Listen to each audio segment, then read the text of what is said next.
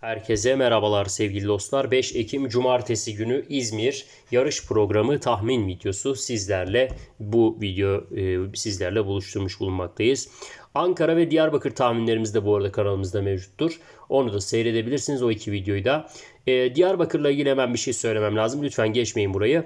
Bir banko bir alternatif tek var. Bir yarışta da iki tane at var. Yani diğer ayaklara çok ciddi bir e, sürpriz hazırlığımız oldu.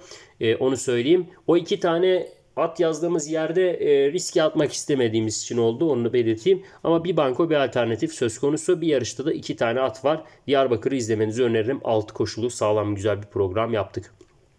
Ankara'da da 10 koşu var. Orada da 2 altılı. Buraya göre yine bütçesi hemen hemen aynı ama birazcık daha İzmir'den bütçesi fazla olacak şekilde ayarladık. Geniş kuponcular Ankara'da da İzmir'de de e, rahat olabilirsiniz. Sizlere de uygun oyunlar vereceğiz ama aynı zamanda küçük kupon yapan arkadaşlarımız size İzmir, Ankara, Diyarbakır hepsinde ufak oyunlar paylaşmış bulunmaktayız. Şimdi kanala abone olalım, videoyu beğenelim. Katıl üyesi olarak veya teşekkürler üzerinden destek verelim diyorum. Teşekkürler butonu biliyorsunuz ki videoyu beğenmenin hemen yan tarafında bulunmakta. İlk yarış saat 4'ü çeyrek geçe koşulacak İzmir'de maiden bir mücadelede 2 yaşlı İngiliz safkanları 1200 metrede kum pistte seyredeceğiz. Arkadaşlar bu koşuda izleyeceğimiz 9 adet at bulunmaktadır. 9 at içerisinde tabi kum pist performansında kendini göstermiş olan safkanlara bir bakıyorum. Onların içerisinden şöyle bir tercih yaptım. Öncelikle 8 gün evvel 4. olup 1.16.84 gören Gökhan Gökçe ile birlikte Kara Örs 5 numara favorim olmuştur onu belirteyim. Hemen ardından arkadaşlar bu koşuda İlker Soyat'la 55 gün arasına rağmen 1 numara Bakır'ın oğlu diyeceğim. Ee, daha sonrasında bu koşuda arkadaşlar Alaaddin Küründük'le Kafkasya Beyleri 4 numaraya şans vereceğim. 3 atlı bir oyun oldu. Evet bu haliyle bir aynı zamanda size küçük kupon demek. Ama geniş kupon için dikkat etmeniz gereken atlar var. Ali Yıldız'la birlikte Ron Weasley 7 numara ve Agent Spring 8 numara Ali Can İnci ile birlikte burada beklenti için içinde olduğum safkanlardır. Nevzat Avcı'nın bindiği Mr. Jimmy'yi yazdırmadım. Evren Sefa Söğüt'ün bindiği Egeli Atlas'ı yazdırmadım. Yani bu tarz bazı atlardan feragat etmiş olduk diyebilirim. Ama e, yani haliyle 3 at ya da 5 at şeklinde bir oyuna zaten çıkmışken artık buradan sonrası da birazcık şansın devreye girmesi gerekir diye düşünüyorum. Ki 7 ve 8 numaralı atlar cazip olacaktır. O yüzden tercihlerimizi aldık. Şöyle idmanları gösterin. Bakın ya görüyorsunuz yani benim bir şey söylemem aslında gerek yok. Yani Agent Spring'in yaptığı idman ortada. Kendisi söylüyor idman bize zaten atın nasıl bir at olduğunu. Ron Weasley'e gelecek olsak rahat bir tempoda 51-30-26 yaptı. Yani neden olmasın dedirten idmanlar bunlar. Onun için ben burada tercihlerime bu atlara aldım. Ha, almadıklarımda da tabii ki keşke alabilsek ama bütçeyi de o kadar da zorlamamak lazım. Dediğim gibi bu yönde tercihlerimizi yaptık.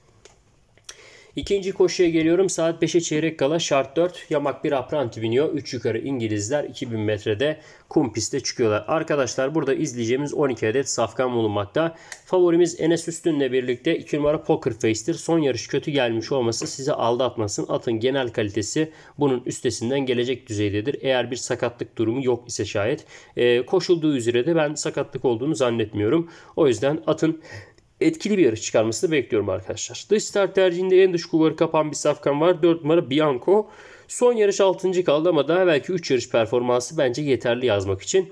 E, Enes Dursun Ökten'le birlikte Santorini Girl 6 numara Santorini Girl 42 günlük arasıyla bence tercihleri alınmalı. Cazip bir safkandır. Son 6 yarışında 5 kez tabela yapmıştır. İhtimal halinde düşünülmeli. Sinan Akşın'la birlikte Dream Dust 11 numarayı da tercihlerimi alıyorum. 14 gün evvel 5. olan safkan Dream Dust burada ihtimal dahilinde gözükmektedir. Geriye kalan isimlerden tuttuğunuz herhangi bir safkan varsa oyunlarınıza dahil edebilirsiniz. Biz bu şekilde bırakmayı uygun gördük arkadaşlar. Biz burada oyunumuzu 2 4, e, 6 ve 11 şeklinde 4 safkanda planlamış olduk. Bu koşuda fazla bir detay bulunmuyor. Üçüncü koşuya geldim. Saat 5'i çeyrek geçe şart 2 mücadelede 3 yaşlı Araplar 1400'de kuma çıkacaklar. Arkadaşlar burada oyunu iki plana ayırdık. Onu belirtmem lazım. Ee, burada bizim safkanlarımız Büyük Düş ve Rüzgar Saruhan'da start almakta. Onlarla ilgili de detaylı e, kısma geleceğim. Öncesinde bir idmanları gösterelim.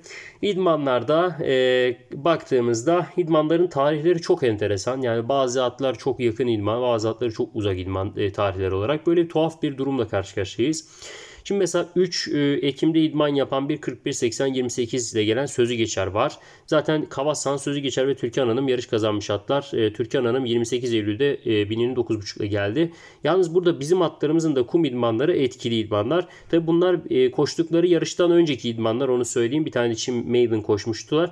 Orada etkisiz kaldılar ama kum idmanlarında 41-27 görmüş olmaları bizce son derece kıymetli. Yani atlar e, bizim atlarımız kumda gitme ihtimalleri olduğuna inandığımız atlar şu anda bu durumda birlikte. Bilhassa büyük düşte bu bakımdan bir beklentimiz var.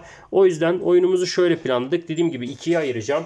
Ben yine de burada e, e, ekürlere gelmeden önce yarış kazanmış atlara öncelik tanınması gerektiğini düşünüyorum.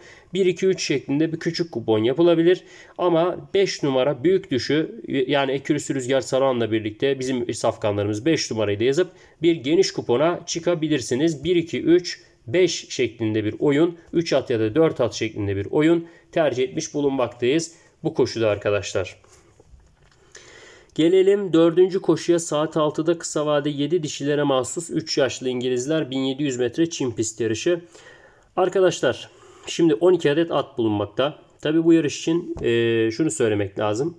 Buranın favorisi her şartta bir numara Covered Queen'dir. 35 günlük güzel bir ara. Son yarış kazanılmış. Gökhan Gökçe gibi iyi bir jokey biniyor. Gruba bakıyoruz. Evet ihtimal dahilinde olan birçok isim var ama ama ama hiçbirisi bence bir numarayı geçemez. Yani başka yarışlarda geçmiş olmaları vesaire ihtimalleri tabii ki vardır. E, bakılır edilir. Dersiniz ki Aa, bu yarışta şu şunu geçmiş vesaire. O ayrı bir konu. Ama şu an bu koşuda bu şartlar altında yani 35 gün ara vermiş bir Covered Queen bu koşuda geçilmez arkadaşlar. Mesafe çok uzun değil. 1700 yani şartlar onun tamam, tamamen yanında. E, Covered Queen'in son yarış performansını da bir gösterelim. Yani at kısa vade 8 kazandı arkadaşlar. Hani öyle dandik bir yarış koşmadı. E, düşük düzey bir yarış koşmadı. Kısa vade 7 dişi kazanmış bir e, safkan yine. Yani performansı bu. Atın e, çok ciddi bir problemi vesairesi hiçbir şey yok. Verdiği ara tamamen bir dinlenme arası. E, bir numara burada kazanır. Bir numara banko. Yani çok net dördüncü koşu bir numara banko.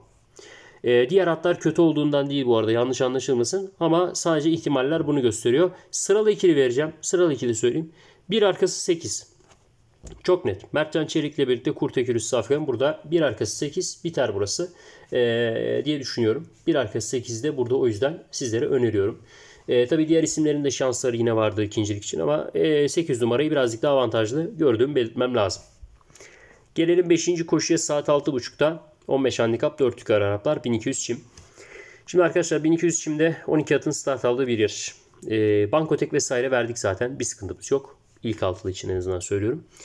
E, burada tabii bu arada şöyle bir şey var. İkinci altı başlangıç ayağında verdik orayı. Yani e, her iki altılıda da tekimiz var aslında şu anda. Hani orada bir sıkıntı yok yani onu belirteyim. Sadece ilk altılıda da değil. Burada şimdi oyuna geçiyorum. 3 numara Serkan Noğlu benim favorim. Son yarış 9 gün evvel kumda kazandı. Bir önceki yarış şimdi 3. Süper. İyi durumda geliyor.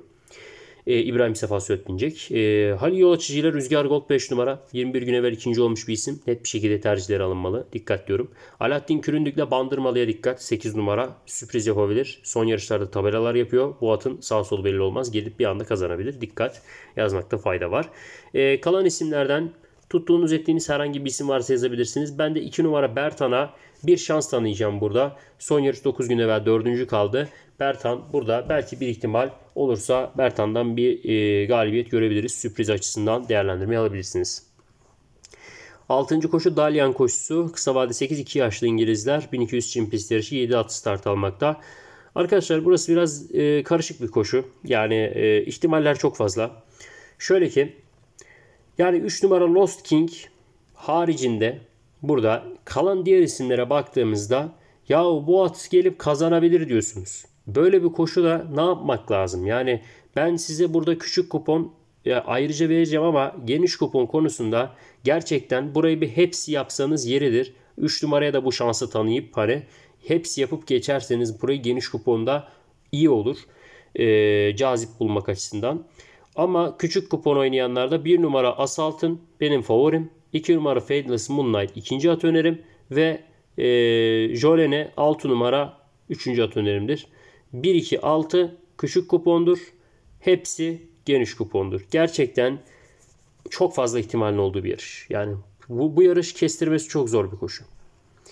7. koşuya geliyorum. Saat 7.30'da 17 handikap 3 çıkar İngilizler 2400 metre çim pist yarışı. Arkadaşlar 9 safkanın start alacağı bir yarış. Ee, şimdi burada açık konuşmak gerekirse bu konu e, bu koşu ile ilgili çok fazla kafa yordum. Buraya bayağı e, ayrı bir e, çalıştım. Bir numara Torun Yusuf burada böyle bir favori olarak gözükmekte ama şu anda hazır durumda olan diğer isimler var ve kilo farkları burada işleri birazcık karıştıracak. Onun için dikkatli olmakta çok fayda var. Mesafe çok uzun. Yani bu uzun mesafede birçok farklı sonuca açık olduğunu belirtmek lazım ama Torun Yusuf'suz da oyun yapamıyoruz. O yüzden bir numarayla başlamak lazım. 2 numara Patrick Wilding 56,5 kilo gibi bir kiloda koşacak. Böyle etkili bir safkan son yarışları aldatıcı. Sakın diyorum burada aldanmayın. 2 ee, numara Patrick Wilding yazın. La Bombonera yine yazmanız lazım. 23 gün evvel bir üçüncülüğü var kumda. Daha belki çim yarışları 2 tane altıncılığa aldanırsanız burada e, çok e, kötü olur. O yüzden aldanmayın diyorum. Devam ediyorum. 4 numara Kingova. Cem Altun'la birlikte yazmakta fayda var. E, ve tabii e, aman dikkat dediğim bir isim Ali Can İnci ile Kurt Reis 8 numara. Yani 50 kilo 50 handikap puanı aynı zamanda. Bu handikap puanına bakıp da bu atı yazmazsanız burada geçmiş olsun. Gerçekten çünkü gelme ihtimali olan bir safkan. Yani bir numaradan 13 kilo eksik koşacak. Ve koşacağı mesafe 2400 metre. Yani böyle bir mesafede bu kadar fazla kilonun nasıl bir fark yaratacağını hayal bile edemeyebilirsiniz. Onun için Kurt Reis'e dikkat diyorum. Burada oyun tercihinizde yer alabiliyorsa yazabiliyorsanız yazın. 1, 2, 3, 4, 8 şeklinde bir oyun tercihini yapmış bulunuyorum. Gelelim 8. koşuya saat 8'de meydan 2 yaşlı İngilizler 1200 metre kum pist yarışı. Arkadaşlar burada Mustafa Çiçek dersinde The Signature 7 numara favoridir. 23 güne belki kumdaki ikinciliği itibariyle. Mehmet Kaya ile birlikte ilk kumuna çıkacak olan e, Lodato 4 numaraya dikkat yazılsın. Hüseyin Şimşek ile birlikte Erbağlı Sadi 2 numara. Yine oyun tercihimizi aldık. E, yine ilk kumuna çıkacak bir line art temsilcisi Uçangala 10 numarayı da geniş kupon için tercih edebilirsiniz. E, 7-4-2 geniş kupona 10 ilavesiyle bu koşuyu geçeriz. Burada fazla bir detay yok. Sadece bir idmanları göstereceğim.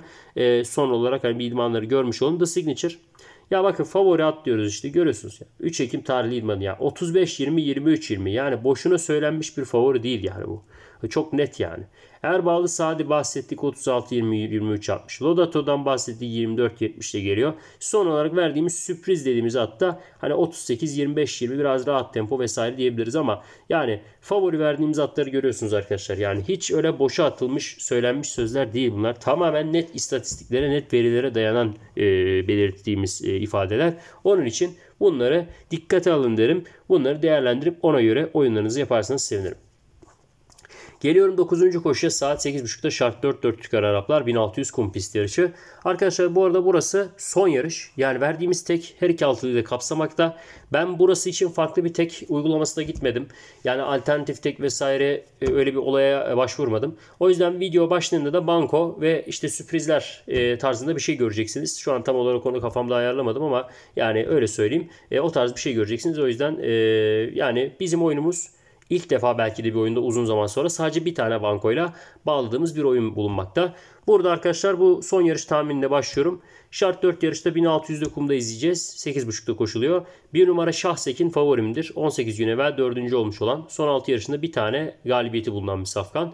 Yani yarış kazanmaya çok yakın olduğu aşikar. 63 kilosu biraz sorun çıkartabilir mi? Çıkartabilir. E, mesafe uzun değil tamam ama e, etkili safkanlara karşı rakip olacak burada. O isimlere şans verebiliriz. Şans verilebilecek isimlerin başını çeken safkan 16 gün evvel 3. oldu. 54 kiloda çok ciddi bir kilo avantajıyla Halil Yolçıcı dersinde 10 numara Holigan arkadaşlar. 11 gün evvel 3. olan 56 kiloda 13 numara Erdoğdu Onur Yıldız'la birlikte tercihlerimizde yer almakta. Devam ediyorum Mehmet Kaya ile 14 numara Uzun Dalga 18 gün evvel 5. oldu. Bu sene sadece bir tane galibiyeti var ama sadece 3 yarış koştu. Son yarışı birazcık daha yine yarış görme gibi değerlendirilebilir e, olarak e, yorumluyorum. Uzun Dalga'yı bir gösterelim. Hani bu yarışları ne zaman koştu vesaire hepsiyle ilgili bilginiz olsun. 12 ee, Ağustos'ta bir altıncılık. Sonra bir galibiyet ama şart 2 galibiyet. Yani şart 2'de kazanılan bir yarışı e, şey olarak görmemek lazım. Hani at hazır diye görmemek lazım. Onun için bir sonraki koşusunda da 5. gelmiş. Şart 3'tü olabilir. Ama orada da bizim zaten 4. tercih ettiğimiz at olarak bence yer bulmalı kendisine bu oyunda. O yüzden tercihlerimi aldım. Ve burada bu 4 atlı oyun yeterli olabilir. Ve biz zaten sadece bir tane tek çevresinde oyun yaptığımız için 4 tane atı ben bu koşuda yeterli bulmaktayım.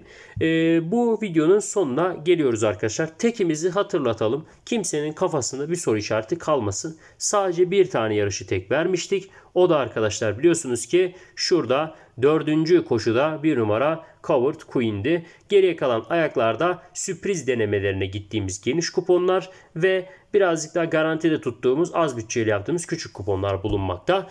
Ankara videosu yayında 10 koşu, Diyarbakır yayında 6 koşu, Diyarbakır'da bir banko, bir alternatif, bir yarışta da sadece 2 tane at yazdık. Bilginize onları da seyredebilirsiniz diyorum.